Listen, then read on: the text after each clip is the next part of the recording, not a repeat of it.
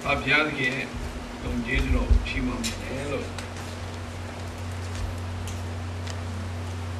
New York City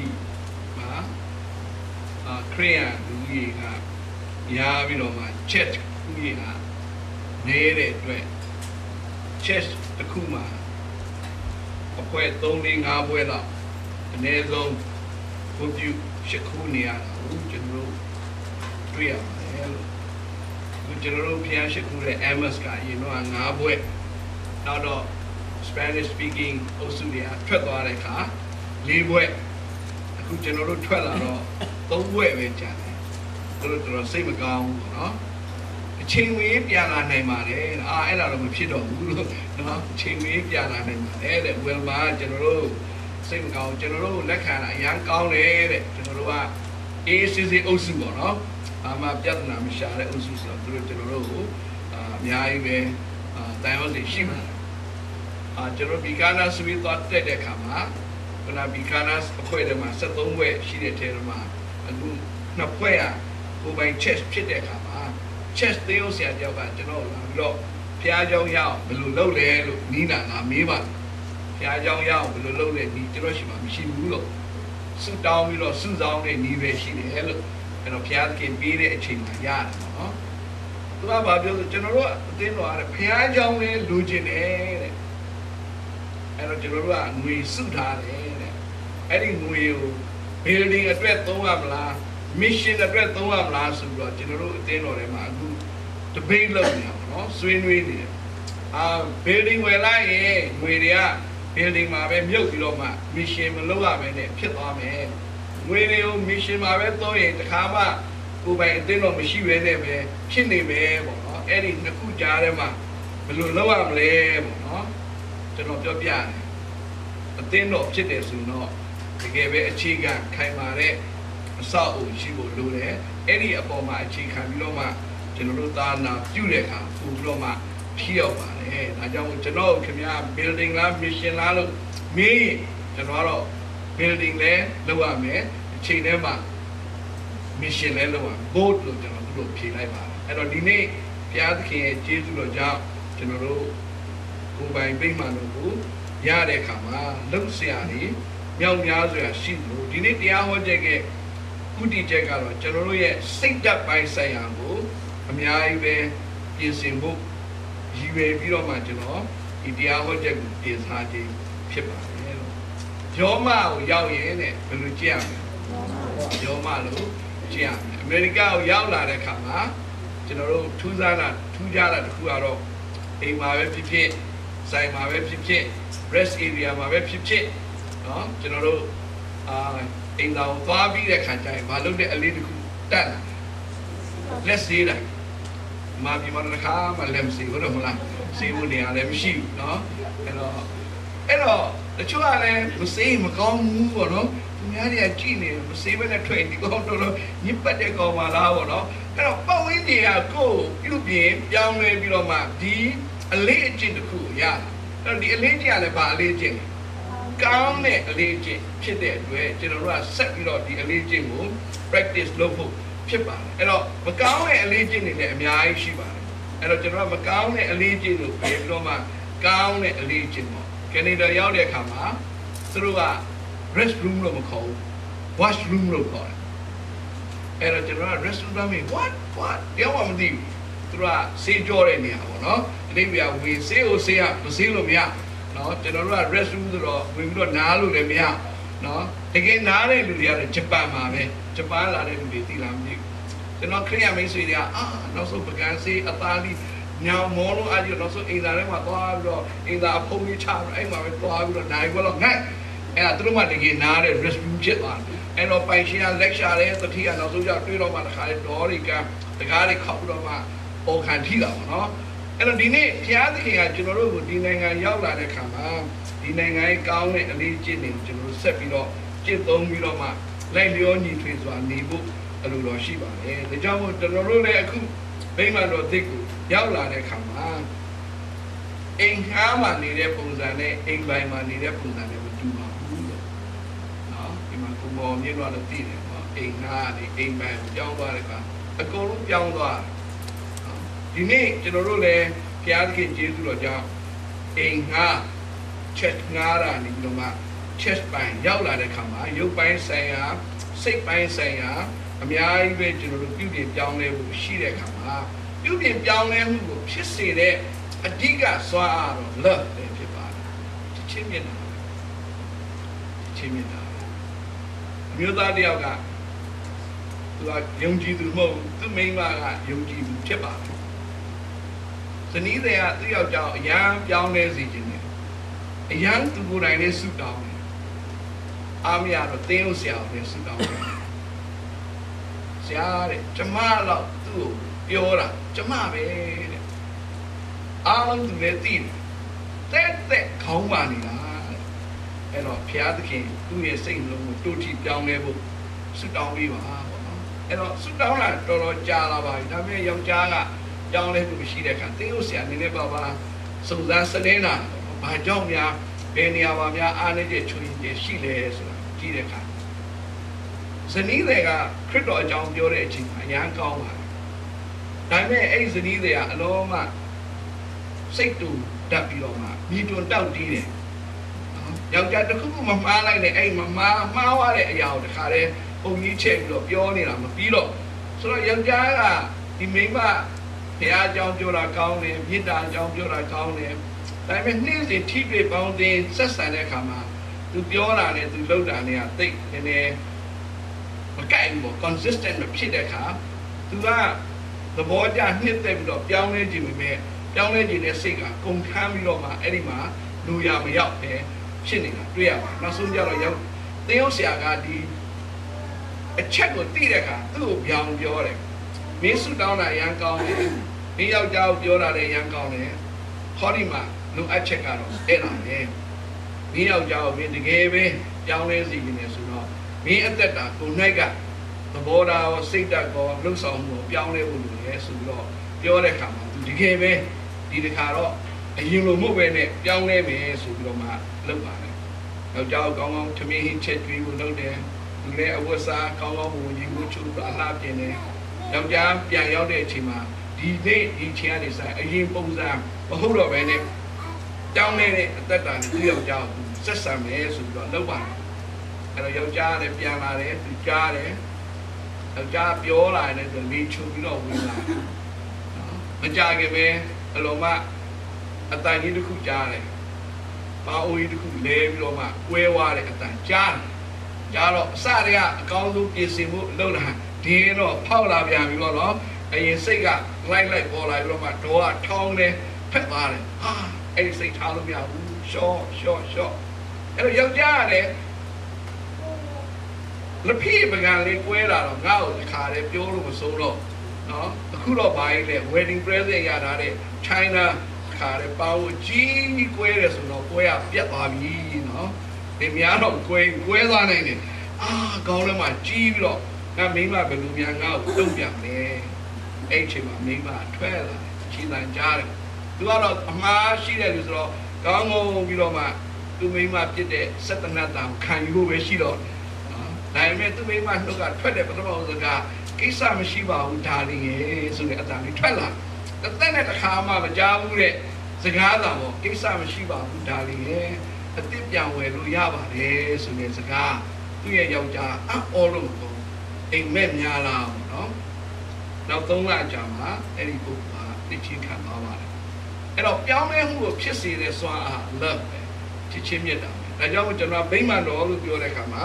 ဗိမာန်တော်ချစ်ပါဆိုတဲ့အရာနဲ့ကျွန်တော်ဒီနေ့ခေါ်ပြနှစ်ပိုင်းပါမယ် တစ်ပိုင်းကတော့ဗိမာန်တော်ဆိုတာဘာလဲတဲ့ကျမ်းစာထဲမှာဗိမာန်တော်နဲ့ပတ်သက်ပြီး၄မျိုးပြောထားတာတွေ့ရပါတယ်အဲကျွန်တော်ဘုဟုတ္တအနေနဲ့ဖတ်ထားပါပထမအဆုံးအာလူရိုက်ကူပြောရင်တော့ဗိမာန်တော်ကိုကျွန်တော်ဝတ်ပြုတဲ့နေရာပါပဲပထမဦးဆုံးအစောဆုံးဗိမာန်တော်တော့တဲတော်လို့ခေါ်တယ် tabernacle လို့ခေါ်တယ်သူက mobile သူကအရှင်ခောက်သွားလို့ရတယ်တိမ်သွားလို့ရတယ်တဲသွားလို့ရတယ်ဘာကြောင့်လဲဣသရေလလူမျိုးတွေက အတ္တိတကြ settle မဖြစ်သေးတဲ့ခါမှာသွားနေရမှာသူတို့ဒီတဲတော်ကိုတဲဆောင်ပြီးတော့မှရောက်တဲ့နေရာမှာတခါတည်းပြန်ပြီးတော့မှတိဆောက်ပြီးတော့မှထားတယ်ဒါပေမဲ့တဲတော်ပဲဖြစ်ဖြစ်ဘာပဲဖြစ်ဖြစ်ဒီအာဗိမာန်တော်ဆိုတဲ့အရာဟာဘုရားသခင်ဂျင်းကိုတဲ့နေရာဖြစ်တယ် the dwelling place of God အဲ့ဒါအရေးကြီးဆုံးပဲဘယ်နေရာပဲဖြစ်ဖြစ်တဲနဲ့ပဲလို့လို့တိုင်းနဲ့ပဲလို့လို့ဘယ်နေရာပဲဖြစ်ဖြစ်အဓိကက ဘုရားသခင်ဂျင်းကိုအရေးကြီးပါအဲ့တော့ဘယ်တော့ပဲအဆောင်ရောင်နေနဲ့သာသာနာနာပဲဖြစ်ဖြစ်ဘုရားသခင်မဂျင်းဘူးရင်အတိတ်ပဲမရှိဘူးအဲ့တော့အရင်ကတဲတော်မှာတဲ့ဣတိလာလူမျိုးတွေကဘုရားသခင်ကိုဝတ်ပြုကိုးဝေကြတဲတော်ဟာ the presence of God ဘုရားရဲ့အတူရှိတဲ့နေရာဘုရားသူတို့နဲ့အတူရှိတဲ့အတိတ်ပဲ God with us အဲ့တော့ဒီတဲတော်ဒါကြောင့်မို့တဲတော်မှာသူတို့ဘုရားသခင်ကိုကာလကြာရှိစွာ ဝတ်ပြုကိုးဝေခဲ့ပါတယ်တဲ့နော်ဒါဗိမာန်တော်ရဲ့အရင်ဥဆုံးဒုတိယကတော့တဲ့ temple temple ဆိုတာဗိမာန်တော်ပဲဒါယေရုရှလင်မြို့မှာတခါလေရှောလမုန်မင်းကြီးကနေပြီးတော့မှဒီဆောက်ခဲ့တဲ့ temple အလုံးမကြီးကျယ်ခမ်းနားပဲတစ်ပေါင်40ကြာအောင်ဆောက်ရတဲ့အရာဖြစ်တယ်အဲ့တော့ temple ၃ခုရှိတယ်ပထမအဦးဆုံးကရှောလမုန်မင်းကြီးဆောက်ခဲ့တဲ့ temple ဒီ temple ဟာတဲ့ BC 986မှာနေဘုခနေဇာမင်းကြီးကဖျက်ဆီးပလိုက်အဲ့တော့ပထမဦးဆုံးဗိမာန်တော်ပျက်စီးသွားတယ်အဲ့တော့ဒုတိယဗိမာန်တော်ကိုတဲ့ Zerubbabel ဆိုတဲ့မင်းကတီဆောက်ပါတယ်တဲ့ဆောက်တဲ့အခါမှာအရင်ဗိမာန်တော်တော့မခံတော့ဝမ်းသက်လောက်ပဲရှိတယ်တဲ့သုံးပုံပုံတစ်ပုံဆိုတော့ခတ်သေးသေးလေးပေါ့နော်ခတ်သေးသေးလေးဒါပေမဲ့ဣသေလလူမျိုးတွေက ကိစ္စမရှိဘူးဒါမူလနေရာမှာပဲတီဆောက်တဲ့ဗိမာန်တော်ဖြစ်ပါတယ်ဒီဗိမာန်တော်ကိုတော့ဘယ်သူမှဖျက်ဆီးတာမဟုတ်ဘူးဒါပေမဲ့ဗိမာန်တော်ကတဖြည်းဖြည်းနဲ့သူ့ကလည်းသူယိုယွင်းပြီးတော့မှလာတဲ့အခါမှာတဲ့တတိယအကြိမ် Herod the Great Herod မင်းကြီးကနေပြီးတော့မှပြန်ပြီးတော့မှ rebuild and enlarge အသစ်ပြန်လဲပြီးတော့မှပို့ပြီးတော့မှကြီးကျယ်ခမ်းနားတဲ့ဗိမာန်တော်ကြီးကိုတည်ဆောက်တယ်ဆိုတာကိုကျွန်တော်တို့တွေ့ရပါတယ်။ ဒါပေမဲ့အဲ့ဒီကြီးကျယ်ခမ်းနားတဲ့ဗိမာန်တော်ကြီးက AD 70မှာယောမတွေကဝင်ပြီးတော့မှမိရှုပြီးတော့မှဖျက်ဆီးလိုက်တဲ့အခါမှာဒီနေ့ဂျေရုဆလင်မှာ Wailing Wall လို့ခေါ်တဲ့ဗိမာန်တော်ရဲ့နေရာတခြားပဲကြံပြီးတော့မှဣသေလလူမျိုးတွေအဲ့ဒီမှာသွားပြီးတော့မှနှုတ်ဖူးနဲ့တက်ပြီးတော့မှမျက်ရည်ကျပြီးတော့မှသူတို့ဆူတောင်းပြီးတော့မှနေတယ်အနည်းနာမှာကြည့်လိုက်ရင်တော့တခါတည်းအာရွှေရောင်အပေါ်ကခါတဲ့အမိုးကြီးနဲ့မွတ်စလင်တွေရဲ့ဗလီကြီးက ခန္ဓာကျွယ်ဝ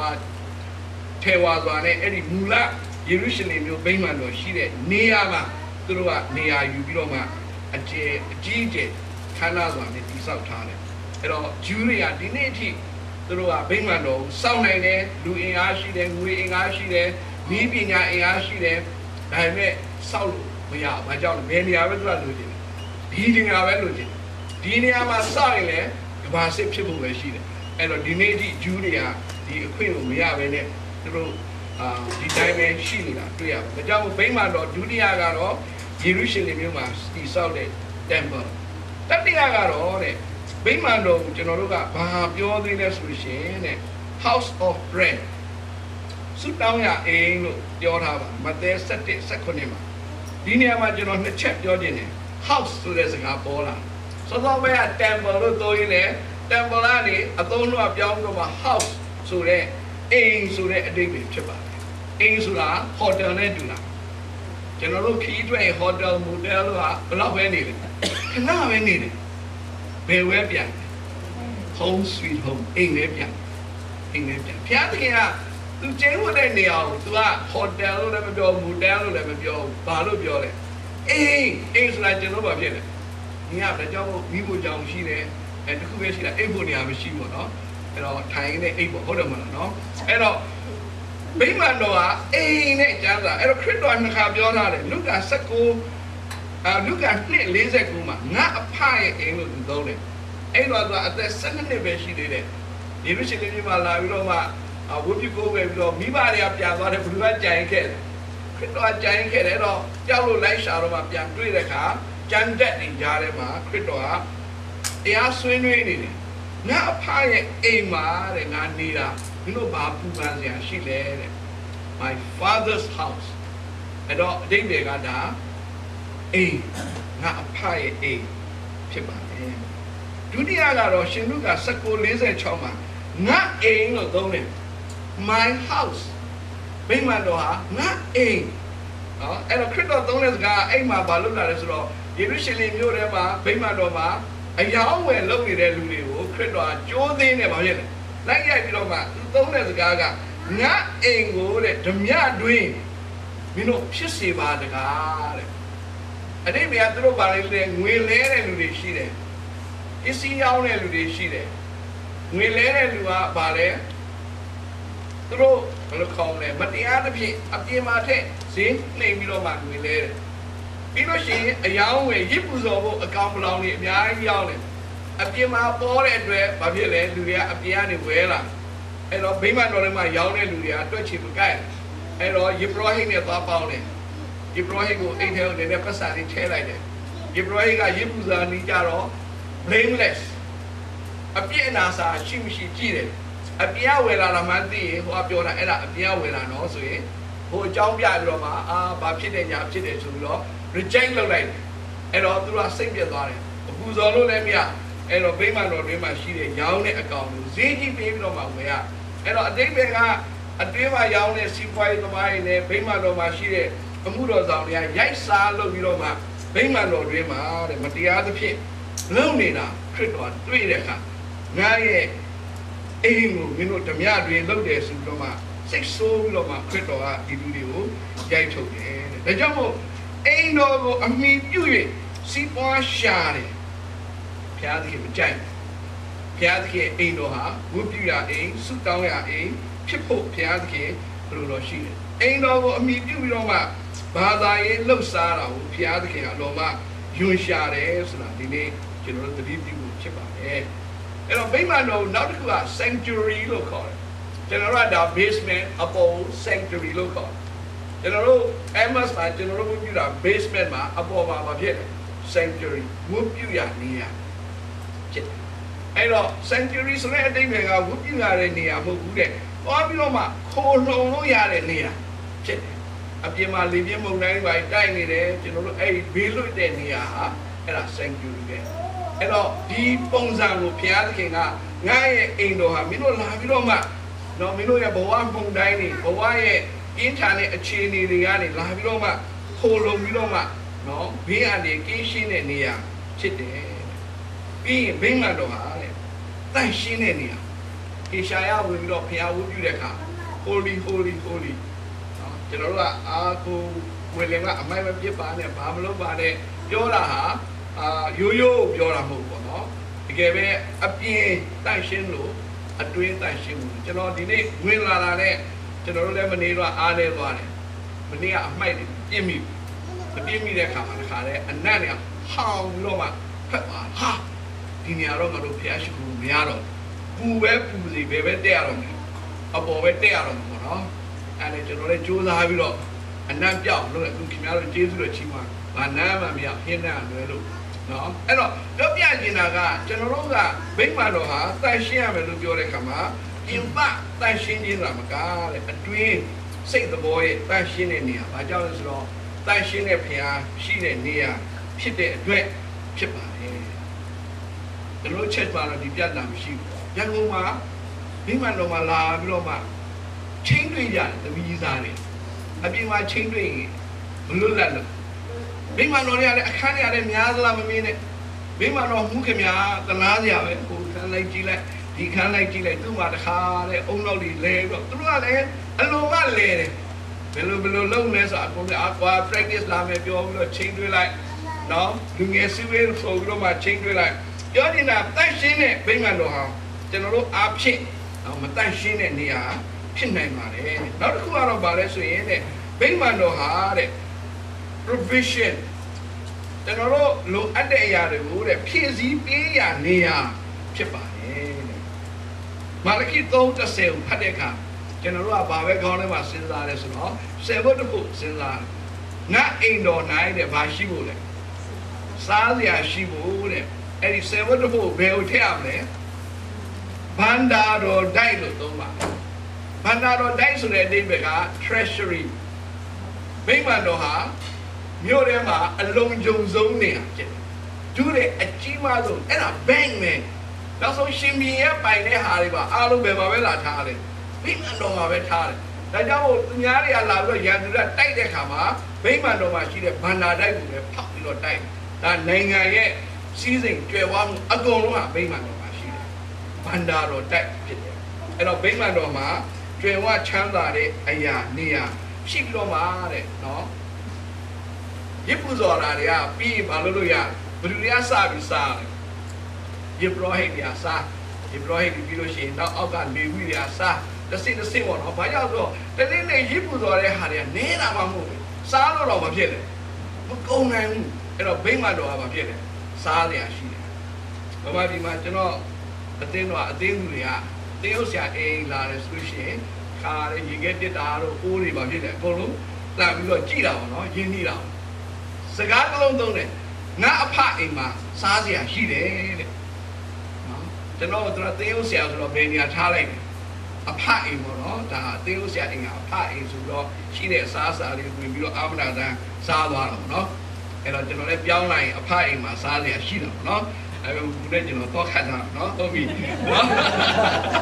အဲ့တော့ပြောချင်တာဗိမာန်တော်မှာလာတဲ့တွေ့တဲ့ဗိမာန်တော်ကဟလာဒါကြောင့်မို့ဒီနိုင်ငံမှာ church တွေက homeless တွေကိုကျွေးတယ်ဘယ်နေ့ဘယ်နေ့မှာ soup kitchen လို့ခေါ်တယ်လာပြီးတော့မှ စားသုံးနိုင်တယ်ဗိမာန်တော်က provision သူများတွေကိုပေးကျွေးတယ်ခုနပြောတဲ့ sanctuary က protection အကာအကွယ်ပေးတဲ့နေရာဖြစ်တယ်တဲ့နောက်တစ်ခုကတော့ဗိမာန်တော်မှာတဲ့တကယ်ယေရုရှလင်မြို့ဗိမာန်တော်ထဲမှာအတွင်းထဲမှာဘာထားလဲဆိုတော့တဲ့ပရိညင်တက်တာတော့ရှိတယ်နော်အာပ်လို့ခေါ်တယ်ပရိညင်တက်တာပရိညင်တက်တာတော့ဘာကိုပြောလဲဆိုရင်တဲ့ the presence of god ဘုရားသခင်ရှိခြင်းရဲ့ အမှတ်လက္ခဏာဖြစ်ပါတယ်တဲ့အဲ့တော့ဒီချိန်မှာပရိညင်တက်တာကိုလူတွေကခိုးပါတယ်ဆိုတော့ဖလစတင်းတွေကခိုးပါတယ်ဖလက်တီတွေကဒါဒါဝိလက်ထက်မှာအဲ့တော့အာဘုရားသခင်ရဲ့ဗိမာန်တော်မှာအဓိကအကြဆုံးဖြစ်တဲ့ပရိညင်တက်တာမရှိလို့ရှိရင်ဒါဘုရားသခင်ရဲ့ presence of God လည်းမရှိတော့ဘူးဆိုပြီးတော့မှဖြစ်သွားတယ်အဲ့မှာအာပရောဖက်ကဘာပြောလဲဆိုလို့ရှိရင်တဲ့ Ichabod ဆိုတဲ့စကားလုံးသုံးပြီးတော့မှ the first Samuel 4:21 22မှာ the glory of God has departed from Israel တဲ့ဘုရားသခင်ရဲ့ဘုန်းတော်ဟာတဲ့ဣသေလမျိုးဣသေလလူမျိုးကနေပြီးတော့မှစွန့်ခွာပြီးတော့မှသွားပြီနေတရားဘုရားသခင်ရဲ့ဗလိငင်တက်တာတို့ကိုကောင်းကောင်းမွန်မွန်ကာဝယ်ထိမ့်သိမ်းစောင့်ရှောက်ခြင်းမထားဘဲနဲ့မရှိဘဲနဲ့ပြစ်စလက်ခထားတဲ့ခါမှာဒီနေ့ရန်သူကယူသွားတဲ့ခါမှာဘုရားရဲ့ the presence of God မရှိတော့ဘူးဆိုပြီးတော့မှ ဖြစ်သွားပါတယ်သမိုင်းမှာဒီနေ့ဘုရားသခင်ကကျွန်တော်တို့မိမ့်မှန်တော့ဟာဘုရားသခင်ရဲ့ရှိခြင်းရဲ့နေရာဖြစ်တယ်လို့တဲ့ခုနကကျွန်တော်ပြောတဲ့ဘုရားသခင် dwelling place ဘုရားသခင်ကျင်းဝတ်တဲ့နေရာဖြစ်ပါတယ်အဲကြောင့်မို့ဒီနေ့ဗိမာန်တော်နဲ့ပတ်သက်ပြီးနောက်ဆုံးနံပါတ်၄ရပါလဲဆိုရင်တဲ့ယေရုရှလင်မြို့ဗိမာန်တော်လည်းမရှိတော့တဲတော်လည်းမရှိတော့ house of prayer လည်းမရှိတော့ sanctuary လည်းမရှိတော့ဒီနေ့ဘုရားသခင်က ကျွန်တော်ကျမတို့ရဲ့ခုခန္ဓာဟာတဲ့ပါလေ temple of the holy spirit ဘုရားသခင်ကျင်းဝတ်တယ်ပါဖြစ်လေဗိမာန်တော်ဖြစ်သွားတယ်အဲ့တော့ဒီနေ့ဘုရားသခင်ကကျွန်တော်တို့ကိုကျွန်တော်တို့ရဲ့ကိုယ်ခန္ဓာဘုရားသခင်ကျင်းဝတ်တဲ့ဗိမာန်တော်ဖြစ်တယ်တစ်ကောခန္ဒီ3 16စက္ကုံမှာမင်းတို့ရဲ့ကိုယ်ခန္ဓာဟာတဲ့ဘုရားသခင်ကျင်းဝတ်တဲ့ဗိမာန်တော်ဖြစ်တဲ့အတွက်တဲ့အဲ့ဒီဗိမာန်တော်ကိုတဲ့ဖြည့်စည်းတဲ့လူဟာတဲ့ ဖြည့်စည်းမယ်တဲ့အဲကျွန်တော်ဗိမာန်တော်ဖြည့်စည်းတယ်လို့ပြောတဲ့အခါဘုရားကြောင့်လာပြီးတော့ဘုံခွဲပြီးတော့ဖြတ်လို့ပဲနော်ဣသေလလူမျိုးတွေရဲ့ဗိမာန်တော်လာပြီးတော့မှဖြတ်လို့ပဲနောက်ဆုံးဖြတ်တဲ့အုပ်စုကဘာလို့ပါဆို desecrated လို့ခေါ်တယ်ရစ်ပလင်ပေါ်မှာယေရုရှလင်မြို့ရစ်ပလင်ပေါ်မှာဝက်ကိုတင်ပြီးတော့မှပူဇော်ရတယ်ဣသေလလူမျိုးတွေနဲ့ဝက်နဲ့ရမှာဖြစ်လေမွတ်စလင်နဲ့ဝက်လို့ပဲတကက်စော်ကားပြီးတော့မှနောက်ဆုံးတစ်ခါတည်းဒီဗိမာန်တော်မတန့်ရှင်းအောင် ပို့ပြီးတော့မှတစ်ခါတည်းဂျူးတွေရဲ့စိတ်ထဲမှာနာကျင်အောင်သူတို့လုတ်ပြီးတော့မှဗိမာန်တော်ဖျက်ဆီးသွားတယ်အဲ့တော့ဒီနေ့ဘုရားသခင်ကမင်းတို့ရဲ့ကိုယ်ခန္ဓာဟာဘုရားသခင်ကျင်းဝတ်တဲ့ဗိမာန်တော်ပဲဒီနေ့ဗိမာန်တော်ပျက်စီးအောင်လုပ်တယ်မတည့်တဲ့အစာတွေစားတယ်အချို့ကအရက်တောက်တယ်အချို့ကမူရစေဝါလုပ်တယ်မှတ်စားပြီနော်အဲ့တော့ကိုယ်ခန္ဓာတချို့လည်းအပျော်ပါလိုက်စားတယ်အဲ့တော့အဲ့ဒီဘုရားရဲ့ဗိမာန်တော်ကိုကိုယ်ခန္ဓာကိုကိုက မခံယူရဲနဲ့နော်နောက်တိကောခန္ဒီ6 19 20မှာမင်းတို့မပိုင်ဘူးတဲ့အဲ့ဒါကိုသုံးတယ်ဒီကိုယ်ခန္ဓာဘုရားသခင်ကျင်းဝရဖြစ်လို့မင်းတို့ပိုင်ဘူးကျွန်တော်တို့ကဒါငါကိုယ်ခန္ဓာပဲငါတက်တူးစိတ်ကြိုက်လို့ပါဖြစ်လေထိုးမယ်ငါကြိုက်လို့နားဖောက်မယ်ကြိုက်လို့ငါလုပ်မယ်ဒါ this is my body ဖျားစရာမဟုတ်ဘူးလေဒီကိုခန္ဓာမြဖန်ဆင်းတာလားမဟုတ်ငါဖန်ဆင်းတာဒါကြောင့်မို့အဲ့ဒီကငါ basically ပိုင်းနေ နောက်တစ်ခုကပို့ဆိုတာအခုကဘလူချင်းဝတ်တဲ့နေရာဘုရားချင်းဝတ်တဲ့ဘုရားချင်းဝတ်တဲ့နေရာဆိုတာတန်တန်ရှိချင်းလှလှပပကောင်းကောင်းမွန်မွန် neat and tidy ရှိဖို့လိုတယ်အစအဝေးပဲမဟုတ်အခုဘလူဖြစ်သွားရတယ်ကျွန်တော်တို့ကိုခန္ဓာဖြစ်သွားတယ်ကျွန်တော်အိမ်သားမှာ Jehovah Witness က SMP Hall ရှိတယ်စနေနေ့တိုင်းတနင်္ဂနွေနေ့တိုင်းမိသားစုလိုက်လာခလေးလေးယောက်ျားလေးဒီလောက်လေးပဲ full suit ကမပြီးသေးဘူး အတက်ချီ case ကရအရွယ်လိုက်တယ်ဟာပြပုံစံသွင်းပြီးသားဒီနေ့ကိုကြီးတော့ကိုကြီးဒီတခါတော့ nectar ပြတ်သွားပါလားဇာကြီးပူတော့လေမခံနိုင်တော့ဘူးလေနော်ကိုကြီးကဘယ်လိုပဲဖြစ်ဖြစ်တခါလေအပြည့်နဲ့လာတာဝတ်စုံပြည့်တယ်အဲ့တော့အတိတ်တွေကဒီကလေးလေးတို့ဒီအရွယ်တွေက mindset attitude ကပြောင်းလာပြီကျွန်တော်တို့ကြတော့ကိုယ်လည်းကြိုက်လို့ဝတ်တယ်ကိုကလေးလည်းအစင်းပြေလို့သူကဘလောက်ပူပူဘလောက်ပဲဖြစ်ဖြစ် တခါလဲစုကတခါလဲအဲ့ဒီကလေးလေးအစားမပြီးသေးဘူးဗာလဲခုနပြောတဲ့အိတ် handbag အနဲ့နဲ့တခါလဲလူကြီးရတယ်ကလေးကြီးယောက်ျားလေးဆိုအဲ့ဒီပုံစံပြောချင်တာသူတို့ရဲ့လေးစားမှုနဲ့သူတို့ရဲ့ပုံတွင်းတာတွေဟာတော်တော်ကောင်းတယ်နော်တော်တော်ကောင်းတယ်အားလုံးကလည်းလေးစားလိုက်နာအဲ့တော့ဒီနေ့ဘုရားသခင်ကနှစ်ချက်ပြောတယ် Temple of the Holy Spirit မင်းတို့ဗိမာန်တော်ဖြည့်ရင်အဲ့ဒီဖြတ်တဲ့လူလည်းဘာဖြစ်မလဲပြက်ပြီယောဂရပြီးသိကုန်တယ်အကုန်လုံး AIDS ဖြစ်သွားတယ် HIV positive ဖြစ်သွားတယ်နော်အသေးကျွမ်းသွားတယ်မှတ်စားပြီနော်ဘုရားသခင်ပြောတာအမှန်ပဲနှုတ်ကပတ်တော်ဟာပြီးရင်ကျွန်တော်တို့ကိုကျွန်တော်တို့မပိုင်ဘူးတဲ့ဘယ်သူပိုင်လဲဆိုတော့ဘုရားသခင်ပိုင်တယ်ဒါကြောင့်မို့တဲ့ main ကလေးတွေကိုယ့်ရဲ့ကိုယ်ခန္ဓာကိုအလွဲသုံးစားတဲ့လူတရားကိုအလွဲတကူမအပ်လိုက်ပါနဲ့တဲ့ because this is not your body မင်းပိုင်တဲ့ကိုယ်ခန္ဓာမဟုတ်ဒါကြောင့်မို့ဒီစုံတယောက်ကိုတော့ကိုယ့်ရဲ့ကိုယ်ခန္ဓာနဲ့ပွားပြီးတော့ ပေးမယ်ဆိုတတိထားပါဘာကြောင့်လဲဒါဘလူပိုင်တဲ့ကိုယ်ခန္ဓာလေဘုရားသခင်ပိုင်တာဒါကြောင့်မို့ဘုရားသခင်အလိုတော်အတိုင်းသာကိုယ့်ရဲ့ကိုယ်ခန္ဓာကိုထိမ့်သိမ်းစောင့်ရှောက်ဖို့လိုတယ်အဲ့တော့ဒီကိုယ်ခန္ဓာဗိမာန်တော်လို့ပြောတဲ့အခါမှာဗိမာန်တော်ကဘာအမြဲတမ်းရှိနေတာလဲပါတီလားဘာဘီကျူလားဟုတ်ဘူးဗိမာန်တော်ကဘုပြုခြင်းနဲ့ပြည့်နေတာကျွန်တော်တို့အသက်တာဘုရားသခင်ကိုဘုပြုခြင်းဆုတောင်းခြင်းချီးမွမ်းခြင်းနဲ့ပြည့်ဝတဲ့အသက်တာဖြစ်ဖို့လိုပါတယ်ဒီနေ့ ဂျူးတွေနားမလည်တဲ့အရာတစ်ခုရှိတယ်ဘုရားသခင်ဘာကြောင့်ယေရုရှလင်မြို့ဗိမာန်တော်ကိုပွဲပြီးသွားတယ်ဒီပေါင်းတစ်ထောင်ရှိပြီစောင့်နေပြီမဲ့မစောင့်နိုင်ဘူးဘာကြောင့်လဲဆိုဗိမာန်တော်ရှိဆက်ပြီးသူတို့ဘာလုပ်နေလဲ sacrifice လုပ်နေခရစ်တော်ကသူကဘာပြောလဲ it is finished ကားတဲ့ပုံမှာအသေးခံခဲ့ခြင်းဟာလူသားအားလုံးအတွက်တစ်ချိန်တည်းနဲ့အပြည့်အပြတ်ပူဇော်ခဲ့တယ်ဘာဖြစ်လဲရစ်ဖြစ်တဲ့အတွက်ဒါကိုဒီနေ့ဂျူးတွေနားမလည်သေးဘူး ဒီနေ့ဘုရားသခင်ကသူ့ရဲ့အကြံစီတော်အဖြစ်ဗိမာန်တော်မင်းတို့ဗိမာန်တော်ကိုငါကျင်းဖို့မဲ့ဗိမာန်တော်ရစ်ပူဇော်တာဘလို့ပူဇော်တယ်ငါ့ကိုပူဇော်တာငါလည်းမခံတော့ဘူးပြီးပြီကိုခန္ဓာရဲ့ဗိမာန်တော်ကပါလေမင်းတို့ရဲ့ကိုခန္ဓာဗိမာန်တော်ရစ်ပူဇော်တာလည်းခရစ်တော်ပူဇော်ခဲ့ပြီးပြီ it's done ဝယ်ပြီးသွားပြီဒီနေ့အဲ့ဒါကိုကျွန်တော်တို့ကမသိပဲနဲ့လက်မခံပဲနဲ့အတင်းကျပ်ဗိမာန်တော်ပြန်လဲတိဆောက်ဖို့နဲ့ရစ်ပူဇော်ဖို့လုပ်ရင်တဲ့အဲ့ဒါအမှားဖြစ်သွားပါလိမ့်မယ်ဒါကြောင့်မို့ဒီပိုင်းနံပါတ်1 ဗိမာန်တော်ဆိုတာကိုကျွန်တော်တို့ဒီနေ့အကြမ်းကြီးကျွန်တော်တို့နားလည်ဖို့စင်ကြင်မှုဖြစ်ပါတယ်ဒုတိယကတော့ချစ်ပါချစ်ပါပြောချင်တယ်ကလေးလေးတို့ကျွန်တော်တို့ကချစ်တဲ့ခါကျတော့ဒီမှုချိုးပေးတယ်အမွေးနာသာလုပ်ပေးတယ်ကောင်းကောင်းမွန်ထောင်းလေးတွေဖြီးပေးတယ်အဝတ်စားလေးလှလှပပလေးလုပ်တယ်သူချစ်တဲ့အခါကျရင်ဘာဖြစ်လဲအကောင်းဆုံးပဲဖြစ်စေချင်တယ်အကောင်းဆုံးပဲပေးချင်တယ်အကောင်းဆုံးပဲ ကျွေးချင်တယ်အဲ့တော့ဗိမာန်တော်ကိုချစ်ဖို့ရန်တဲ့လုပ်ဖို့လိုအပ်တာ၄ချက်ရှိတယ်ဗိမာန်တော်ကိုချစ်ဖို့ရန်တဲ့ရှေးဥစွာဘုရားသခင်ကိုချစ်ဖို့လိုသည်တဲ့ဘာကြောင့်လဲဆိုတော့ဗိမာန်တော်ဘယ်လိုနေတဲ့နေရာဘုရားသခင်နေတဲ့နေရာအဲ့တော့ကိုချစ်တဲ့လူရှိတဲ့နေရာဆိုရင်ကိုဘာဖြစ်လဲသွားခြင်းတယ်သွားခြင်းတယ်ကျွန်တော်တို့ကိုယ်တွေအဖေတွေလက်ထက်တော့ရုပ်ရှင်တွေထဲမှာကြည့်ရတယ်မောင်တင်မောင်လို့ဖြစ်ပေါ့နော် ကိုချစ်တဲ့ကောင်မလေးရှေ့မှာသုံးမှုကြောင်းတက္ကသိုလ်အဆောင်ရှေ့မှာသွားပြီးတော့မှမက်ဒလင်လေးတွေတေယောလေးနဲ့သွားပြီးတော့မဖြစ်လဲမဖလာလေးလည်းပြမပတ်ပြီးတော့မှတစ်ခါလဲသွားပြီးတော့မှလုပ်လေဒီဆိုတာပေါ့နော်ချစ်တဲ့အကြောင်းအဲ့တော့ကျွန်တော်တို့ praise and worship ဆိုတာအဲ့ဒါပဲဘုရားသခင်ရဲ့ကြောင့်တည်ချင်းနေရဘုရားသခင်ရဲ့မေတ္တာနဲ့ကျွန်တော်တို့ရဲ့ဘုရားသခင်ကိုချစ်ချင်းပေါ်ကျူးခြင်းဖြစ်ပါလေလုကာ30 20ခုမှာ love the Lord your God with all your heart all your soul all your strength and all your mind ဒီဘုရားသခင်ထောင်ရဘုရားကို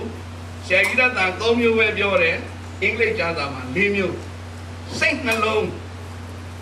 နှလုံးသားနှလုံးသားမေတ္တာရဲ့အခြေခံပဲပြီးရင်ဝိညာဉ်ပြီးရင်စွမ်းအားရှိသမျှဆရာကြီးရတန်ကတော့ဉာဏ်ရှိသမျှလို့သုံးတယ်ပြီးရင် with your mind ဘုရားကျောင်းထဲမှာထိုင်နေတယ်စိတ်ကပြောင်းလဲနေတယ် ကျွန်တော်စိတ်ကအာယုံကဖျားကိုပဲတော့အာယုံပြုဖို့အဲ့တော့ဘုရားသခင်ကမင်းရဲ့နှလုံးသားမင်းရဲ့ဝိညာဉ်မင်းရဲ့စိတ်မင်းရဲ့စွမ်းအားအဲ့တော့အဲ့ဒါတွေအားလုံးနဲ့ဘုရားသခင်ကိုချစ်ဖို့ဘုရားသခင်အလိုတော်ရှိတယ်ကျွန်တော်ရုပ်ရှင်ကားရဲ့ထဲမှာဒင်နာကောင်မလေးကိုကောင်လေးကကျွေးမယ်ဆိုတော့တိန်လုံးကြောင်းနိုင်ပြီးထုံးပန်းလေးလည်းအကုန်လုံးခင်းခါတယ် very romantic နော်ခါတယ်တကယ်အာ ချစ်ချင်းမြတ်တာကိုပေါ်လွင်စေတဲ့အရာဖြစ်နေသူတို့ကလက်ခံပြီးတော့မှလုပ်တာဖြစ်ပါအဲ့တော့ဒီနေ့ဘုရားသခင်ကိုကျွန်တော်တို့ကချစ်မှဘုရားသခင်ကျင်းဝတ်တဲ့မိမ္မာတော်ကိုလည်းကျွန်တော်တို့ချစ်မှဖြစ်ပါတယ်ဒုတိယတပည့်တော်အချင်းချင်းချစ်ပါ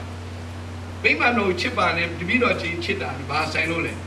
သူ့မျက်နှာငါမတွေ့ရင်လို့ဘုရားကြောင့်မသွားဘူးဟောကိုယ်ကပြတ်သွားရင်အပြည့်ထွက်သွားရင်နောက်မှလည်းလူငယ်လေးတွေကသူ့မျက်နှာလေးကိုတွေ့ကျင်လို့ချစ်ကိုသွားကိုသွားမယ် ခိုင်းတာတော့ဟိုတော့။အားကြောင့်ဆိုကွာရမှာထိုင်ပြီးတော့ဒုတိယဓမ္မရှိတဲ့ကောင်မလေးကိုသူကတွေ့ကြည့်နေလို့ကောင်မလေးကလည်းအဲ့နေရာမှာပဲထိုင်နေသူကအိမ်ကိုချိန်ထားပြီးသား။သူများအဲ့ဒီနေရာဥမာဆိုလို့စောစောရောက်တယ်ဟာကျွန်တော်ကြည့်တော့တဲကြိုးစားတဲ့လူငယ်လေးပါလား။ကျန်းစာတင်နာအမိလားမဟုတ်ဘူးကျန်းစာတင်နာအမိလားတော့မဟုတ်ဘူး။အဲ့ဒီနေရာသူများဥမာဆိုလို့ကြည့်လို့မရလို့မလာတဲ့လူရှိတယ်။ကြည့်ကြင်လို့အာကြည့်လို့တွေးကြင်လို့အာကြည့်လို့ လာတဲ့လူရှိတယ်။အဲ့တော့ဗိမာန်တော်ကိုချစ်ချင်းဟာတဲ့တပည့်တော်အချင်းချင်းချစ်ချင်းနဲ့လည်းပတ်သက်နေတယ်ဘုရားသခင်ကိုချစ်ရုံနဲ့မပြီးသေးဘူးတဲ့ကျွန်တော်တို့အချင်းချင်းအော်ဒီချိန်တော့သူရောက်နေပြီဟောသူနဲ့ငါမတွေ့တာကြာပြီဒါဟာ socially meeting place မဟုတ်ဘူးဒါလည်းပြီးတော့လူမှုရေးရပါတော့အသိတော်တစ်ပါးမှာပြောတယ်ဟာတဲ့အမေရိကန်ချက်စုအရာသဘောကျတယ်တဲ့ဘာကြောင့်လဲဘုရားကြောင့်ပြီးမယ်ဘလူးမှမပြန်ကြဘူးတဲ့ဘယ်ပြန်မလဲဘာရှိလို့လဲ စားစရာရန်ကုန်မှာတော့ဘုရားကြောင့်ပြီးလာတယ်1 2 3 5မိနစ်ဒီမှာတယောက်မှမရှိတော့ဘာမှလည်းမကြွေးဘူးဟုတ်တယ်မဟုတ်လားအဲ့တော့အားလုံးနီးဆိုင်ရတယ်မှာသွားပြီးတော့ခုကိစ္စကိုရှင်းတယ်အဲ့တော့ဘာမရှိဘူးလဲဆိုတော့ခုနပြောတဲ့ fellowship မိသားရဖွဲ့မရှိဘူးဒါပေမဲ့ချင်းလူမျိုးတွေကျွန်တော်ကြီးမွားတယ်ချင်းလူမျိုးတွေကစားစရာရှိရှိမရှိရှိဖျားကြောင်းပြီးဟာပြောနေကြပြီเนาะဘာကြောင့်လဲကျွန်တော် chat မှာကျွန်တော်ချင်းသိန်းတော့လက်ခံထားတယ်เนาะကျွန်တော် ဖះကြောပြီးချင်းကဘုပြုတယ်ချင်းဖះရှိကိုပြီးရင်တော်တော်နဲ့မပြဘာကြောင့်သူတို့ပြီးကျွန်တော်လူငယ်စုရရှိတာအဲကျွန်တော်လူငယ်ကစားစားသူတို့လည်းမပြီးဘူးပေါ့နော်ခါကြိုက်သွားပြောရမှာနော်အဲ့တော့ချင်းလူမျိုးတွေကလူမှုရေးအတော်မှအလေးနဲ့ထားတယ်အဲ့တော့နံပါတ်1အသင်းတော်ကိုချစ်ဖို့ရန်တရားကိုချစ်ပါအချင်းချင်းကိုချစ်ပါနံပါတ်3နှုတ်ကပတ်တော်ကိုချစ်ပါအားကြောင့်ဆိုဖခင်ကြောင့်လာရင်တင်ကြတဲ့ဗီဒီယိုကြည့်ရမှာမဟုတ် တရားကြောင့်လာရင်အဓိကပါပဲဓာတ်ထောင်တယ်နှုတ်ကပတ်တယ်အဲ့တော့ချော့လည်းအဲ့ဒီဟာကိုအာယုံရှိတဲ့အတွက်တရားကြောင့်လာရင်တရားဟောတာမှီတော်ပြီအဲ့အုပ်စုပဲရှိတယ် praise and worship by guru sai pastor prayer လည်းမရှိဘူးဟာတရားဟောတာမှီတော်ပြီ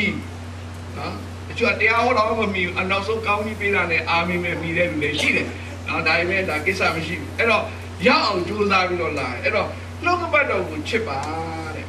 စာမတရား30နဲ့9 90နဲ့9မှာကျွန်တော်တို့ဗိမာန်တော်မှာလာပြီးတော့မှ love thy preserve တဲ့ဘုရားသခင်ရဲ့တရားတော်ကိုကျွန်တော်ချစ်ခင်မြတ်လို့ပါတယ်ဒီနေ့ဒါနှုတ်ကပတ်တော်ကိုချစ်တော်မှာနှုတ်ကပတ်တော်ကိုသွန်သင်ရာဟောပြောရနေရာမှာကျွန်တော်လာခြင်းမှာဖြစ်ပါနောက်ဆုံးနံပါတ်၄များလို့အော်မယ်ကိုယ့်ကိုယ်ကိုချစ်ပါကိုယ့်ကိုယ်ကိုချစ်ဖို့ဘုရားသခင်ကိုယ်၌ကပြောတာလူကာ30 29မှာ သင်တို့ဒီတဲ့သူတစ်ပါးကိုလည်းဘလူနဲ့အမျှချစ်ရမယ်ကိုယ်နဲ့အမျှချစ်ပါကိုယ့်ကိုယ်ကိုမှမချစ်တဲ့လူကသူများကိုလည်းမချစ်ဘူးတဲ့ကိုယ့်ကိုယ်ကိုချစ်တဲ့လူကကိုယ့်ကိုယ်ကိုတိတ်တိထားကိုယ့်ကိုယ်ကိုတတ်တာစေခြင်းနဲ့နော်ကိုယ့်ကိုယ်နေရာကောင်းလို့ခြင်းနဲ့ကိုစားဖို့စွတ်တောင်းရင်တော့ဘလူတဲ့အရင်ဆုံးတောင်းတယ်ကိုယ့်အတွက် group photo ကြည့်ရင်တော့ဘလူမျက်နှာအရင်ဆုံးရှာတယ်ကိုမျက်နှာပြီးတော့မှဒုတိယဘလူမျက်နှာကြည့်တယ်ကိုချစ်တဲ့လူပေါ့နော် ဟိုကြည့်လို့မရတဲ့ကောင်တော့နောက်ဆုံးမှကြည့်တော့မကြည့်တော့တချို့ကြတော့နော်အဲ့တော့ဘုရားသခင်ကကျွန်တော်တို့ကိုကျွန်တော်တို့ကိုယ်ခန္ဓာဒီဘုရားသခင်ကျင့်မှုတဲ့ဗိမာန်တော်ဖြစ်တဲ့ခါမှာတဲ့ကျွန်တော်တို့ကဗိမာန်တော်ကိုချစ်ပါတယ်လို့ဓမ္မတိချင်းပြီးကျွန်တော်ဆိုမယ်အတိတ်ကဘာချစ်ဖို့လဲကိုယ့်ကိုယ်ကိုချစ်ဖို့လဲကိုယ့်ကိုယ်ကိုချစ်တယ်ဆိုရင်ကျွန်တော်တို့ဘုရားကြောင့်လာမယ်ဒါကြောင့်လေဒါဟာကိုယ့်အတွက်ကောင်းတဲ့အရာကိုယ့်ဒုက္ခပေးမဲ့အရာမဟုတ်ဘူးကိုယ့်ကိုဖျက်ဆီးမဲ့အရာမဟုတ်ဘူးကိုယ့်ရဲ့ယခုဘဝနဲ့တမန်တော်ဘဝအတွက် အကျိုးရှိမဲ့နေရာဖြစ်တယ်ဒါကြောင့်မို့ဒီနေ့ဘုရားသခင်ကဗိမာန်တော်ကိုချစ်ဖို့ရဖះကိုချစ်ရမယ်အချင်းချင်းချစ်ရမယ်နှုတ်ကပတ်တော်ကိုချစ်ရမယ်နံပါတ်၄ကိုယ့်ကိုယ်ကိုချစ်ဖို့ဘုရားသခင်ကအလိုရှိတယ်ဆိုတာဒီနေ့ကျွန်တော်တို့နားလည်ဖို့လိုပါတယ်အဲ့တော့ဒီနေ့ချစ်တော်ညီကိုမောင်မပေါင်းလို့ဗိမာန်တော်လို့ပြောတဲ့အခါအေးဖက်မှာတော့ body and building နှစ်မျိုးရှိတယ် body ဆိုတာတော့ခရစ်တော်ရဲ့ကိုယ်ခန္ဓာဖြစ်တယ် building ကတော့အစအုံဖြစ်ပါတယ် ကျွန်တော်ကောင်ဆယ်စပင်းမှာကျွန်တော်တို့ church မှာဘုရားသခင်ဗိမာန်တော်ပေးပြီးတဲ့အခါလုပ်ဖို့အလုံးနှစ်ခုရှိတယ်။အဖွဲ့နှစ်ဖွဲ့ဖွဲ့ရမယ်။တစ်ခုကတော့ပြုပြင်ထိန်းသိမ်းစောင့်ရှောက်ရေးအဖွဲ့ building committee ဗိမာန်တော်ရရှိမှုမဟုတ်တော့ဘူးနော်။ပြုပြင်ထိန်းသိမ်းစောင့်ရှောက်ရေးအဖွဲ့။အဲကျွန်တော်ရဲ့မိတ်ဆွေ San Francisco မှာ Emmanuel Church ကတချို့လည်းသိမယ်။ James ဆိုတာရှိတယ် James Wong သူကတခါလဲ လက်သမားအတက်ကိုတက်ပြီးတော့မှကုမ္ပဏီကြီးမှာသူအလုပ်လုပ်တယ်အဲ့တော့ San Francisco ကသူ့ကိုအဲ့ဒီဗိမာန်တော်ထိန်းသိမ်းရေးကော်မတီရဲ့ဥက္ကဋ္ဌအဖြစ်နဲ့ခန့်ထားလိုက်တယ်။ဘာကြောင့်လဲသူကကောင်းကောင်းနားလေ။ကောင်းကောင်းပြုပြင်ထိန်းသိမ်းစောင့်ရှောက်မှုအကုန်လုံးသူကကျွမ်းတယ်။အဲ့တော့ဒီနေ့ဒီဗိမာန်တော်ကြီးဆက်လက်ပြီးတော့မှတည်တံ့မှုခိုင်ခံ့မှုကျွန်တော်ကောင်းကောင်းမှုကိုဖျားရှိခိုးနိုင်မှုအတွက်အဲ့ဒီအဖွဲ့လိုပါတယ်။နော်ပါဝင်ဆက်ကပ်တဲ့လူတွေလည်းလူတယ်ဒါကျွန်တော်တို့မကြခင် ဖွဲ့စည်းပြီးတော့မှပွားမှုရှိပါ။နောက်ဒုတိယတစ်ခုကတော့တဲ့လှပသားရာဆိုပြေရေးဖွဲ့အားတော့ပန်းလေးတွေထိုးမယ်တပြက်စီလေးတွေလှဲမယ်လဲထားမယ်နော်ဘုရားကျောင်းလေးဝင်တဲ့အခါမှာတခါလေးဘေးချင်းစပွဲနော်အညာမဲ့လှပတင့်နေပြီးတော့ဗမာလိုပြောတက်မယ်ပြီးတော့မှဖြစ်ဖို့ဒါအကုန်လုံးလူအပ်ပါဒါတော့အမျိုးသမီးတွေအဓိကပါဝင်ပြီးတော့မှဥဆောင်ပြီးတော့မှလုပ်ဖို့အဖွဲ့ဒါလည်းကျွန်တော်တို့ကောင်းပြီးဖွဲ့ပြီးတော့မှလုပ်ဖို့လုပ်ပါတယ်လို့ အဲ့တော့ main main man တော့ဒါ building ကိုကျွန်တော်ပြောတာနော်လှပခိုင်ကြပြီးတော့မှအသုံးဝင်တဲ့ building ဖြစ်ဖို့ body body ကြတော့ကိုယ်ခန္ဓာကျမ်းမာတန်ဆွမ်းပြီးတော့မှလှုပ်ရှားသက်ဝင်တဲ့အသိတော့ဖြစ်ဖို့လိုပါတယ်နော်ကျွန်တော်ပြီးခဲ့တဲ့ဘက်ကပြောပြီးဘာဖြစ်လို့ Justin Memorial Baptist Church မှာသွားဖျားမရှိခိုးလဲပုံမှန်ယောဂရှိတယ် ကျွန်တော်တို့ကကိုယ်ခံအားမကောင်းမနဲ့အဲ့မှာသွားပြီးတော့အလကားရလို့ရှ िख ိုးရင်သူတို့ယောဂကူးရင်ကိုယ်ပါနေထိုင်နေပြဿနာတက်တယ်ဒါကြောင့်မို့ကျွန်တော်တို့ကမသွားဘူးအဲ့တော့ဒီနေ့ဘုရားသခင်ရဲ့ကိုယ်ခန္ဓာဖြစ်တဲ့အသင်းတော်ဟာတဲ့ကျမ်းမာတန်ဆွမ်းပြီးကျွန်တော်ဒီနေရာဘာလို့ရတယ်သိလား Glendale Baptist Church ကသေဝါလို့လူတပြေးပြေးနဲ့15ယောက်ပဲကျန်တော့တယ်ဒီ church ကခါလေအရင်တော့တော့တော်တော်ကောင်းပါဘူးเนาะဒါပေမဲ့အဲ့ church ကသေသွားပြီ အဲ့တော့သူတို့ကဆရာတယောက်ကိုခေါ်လိုက်တယ်ပြန်ပြီးတော့မှငါတို့ church ရှင်းတောင်လုပ်ပါစူးစမ်းတယ်အယောက်40ဖြစ်လာဒါပေမဲ့သူတို့ဆက်ပြီးတော့မှဒါကိုထိမ့်သိမ်းဆောင်ရှောက်ဖို့ financially ရောမတတ်နိုင်တဲ့အခါမှာသူတို့ထွက်သွားတယ်အဲ့တော့သူတို့ထွက်သွားတဲ့အတွက်ကျွန်တော်တို့ရအဲ့တော့သူတို့တည်တာပဲကောင်းလို့ဖြစ်တာတကယ်တော့မကောင်းဘူးနော်အသင်းတော်ကဘာဖြစ်နေရမလဲရှင်းသားရမယ်ကျွန်တော်ဘန်ကူးဗားပြန်လာတဲ့အခါသွားတဲ့အခါကျွန်တော်ပြောပြီးပြီနော် ဘုရားဘာသာမနောဒုက္ခဘုံတော်ကြီးကြောင်းတဲ့ကျွန်တော်တဲတဲ့အိမ်နဲ့တစ်ခေါက်သွားတော့တဲတဲ့အိမ်နဲ့တန်းလန်းကြော်မှာရှိကျွန်တော်တဲတဲ့အိမ်ကဒီအသင်းတော်ရဲ့ဗန္နာရင်းသူ့ယောက်ျားကအဲ့ဒီမှာဘုရားဘာသာဘုန်းကြီးကျောင်းမှာဘုရားလူကြီးအဲ့ဒါကျွန်မယောက်ျားရဲ့ဘုန်းကြီးကျောင်းကြည့်လိုက်တော့ဘုရားကျောင်းက bell tower နဲ့ church ဖြစ်နေတယ်အဲ့ဒါအရင်တော့ Baptist church တဲ့ဘုရားကျောင်းကသေသွားတဲ့အခါသူတို့ကမြန်မာဗုဒ္ဓဘာသာတွေကို ပြောင်းလိုက်ပြီးတော့အခုဘာဖြစ်သွားလဲဘုန်းကြီးကျောင်းသူတို့ကလည်းမပြောင်းလဲဘူးဒီတိုင်းပဲထားပြီးတော့မှစိုင်းဘုတ်တက်ပြီးတော့မှဖုံးလက်ကြီးကျောင်းလှုပ်ထားတယ်ကျွန်တော်ကြည့်ပြီးတော့စိတ်မကောင်းဘူးဒီနေ့ကျွန်တော်တို့အသင်းတော်ဟာခန္ဓာကိုယ်ဖြစ်တဲ့အတွက်ကြမ်းမှတန်ဆွမ်းပြီးတော့မှဒါကြောင့်မို့ကျွန်တော်ရဲ့ဆိုရိုးစကားရှင်းတန်းတယ်နှိုးကြတယ်တိုးပွားပြီးတော့မှဖျားဘုံ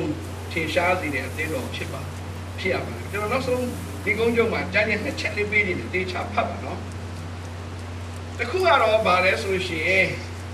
နေဟမိ73 7နေဟမိ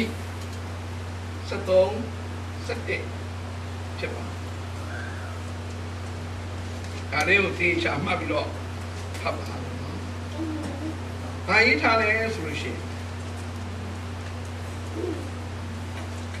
ဖျားသခင်ဤအိမ်တော်ကိုတဲ့အဘေကြောင့်စွန့်ပြစ်စွန့်ပြစ်ကြသည်ဟု မင်းတို့ကိုအပြစ်တင်၍လေဝိသားတို့ကိုစုဝေးစေပြီးမှသူတို့နေရာ၌ခန့်ထားပြန်၏တဲ့အင်္ဂလိပ်ကျမ်းစာမှာ why is the house of god forsaken ပြောချင်တာအဲ့ဒီနေမိခင်မှာရှိတဲ့လူတွေက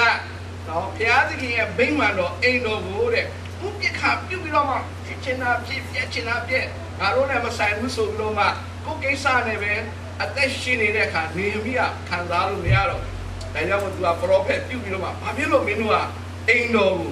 forsaken ဘာဖြစ်လို့စွန့်ပစ်ကြလဲ neglect လုပ်တယ်ဆိုပြီးတော့မှသတိပေးတဲ့ကြံတဲ့ဖြစ်ပါတယ်ဒီနေ့ကျွန်တော်တို့အိမ်တော်ကျွန်တော်တို့အာရုံပြုဖို့လုပ်ပါတယ်နောက်ကြံတဲ့တစ်ချက် Habakkuk အာ sorry ဟက်ကဲခန်းကြီးတ အငယ်တစ်ကနေ6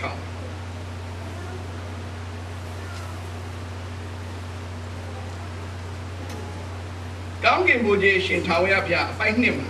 မိန့်တော်မူသည်ကအချိန်မရောက်သေးထာဝရဘုရား၏အိမ်တော်ကိုတိဆောက်ရသောအချိန်မရောက်သေးဟု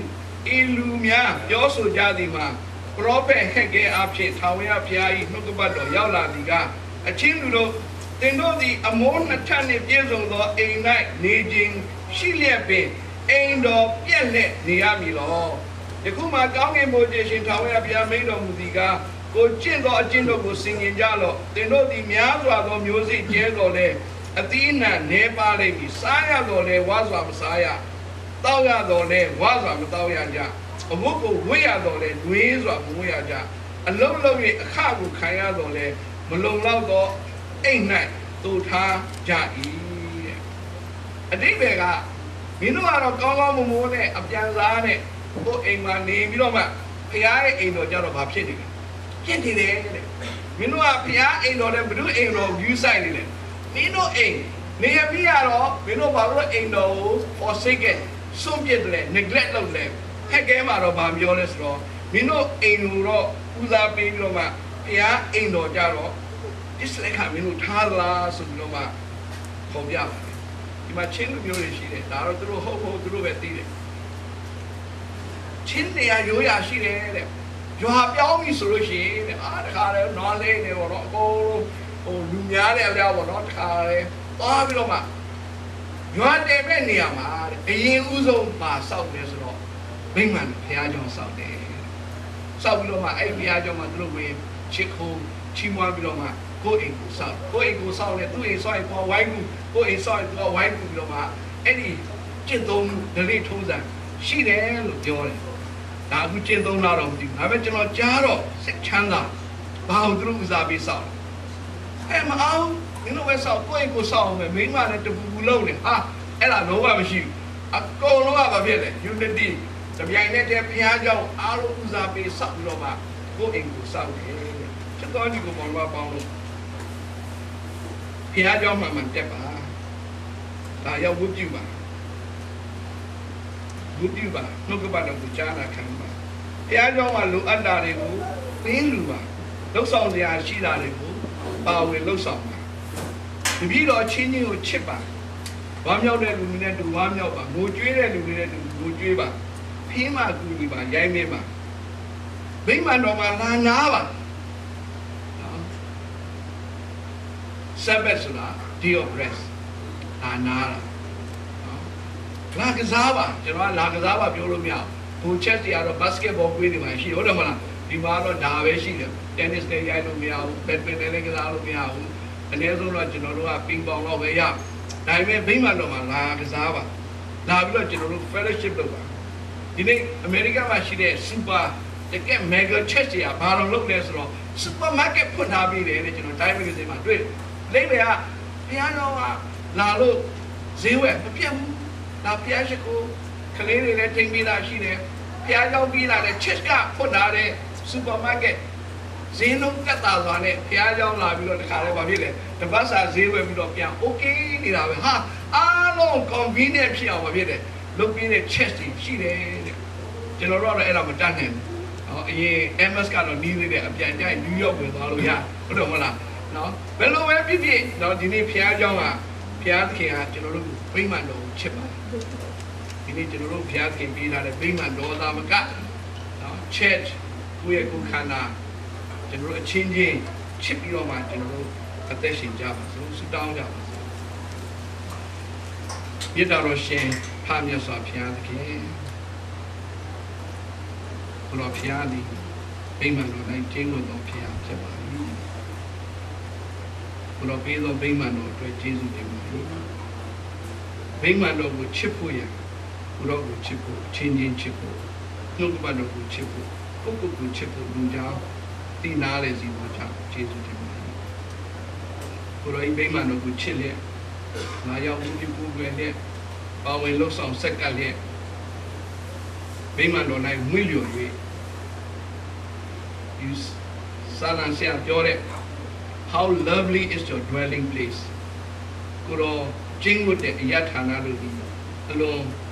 တင့်တယ်လှပချစ်စပွဲကောင်းနေဆိုတော့ကျွန်တော်တို့နားလေလေ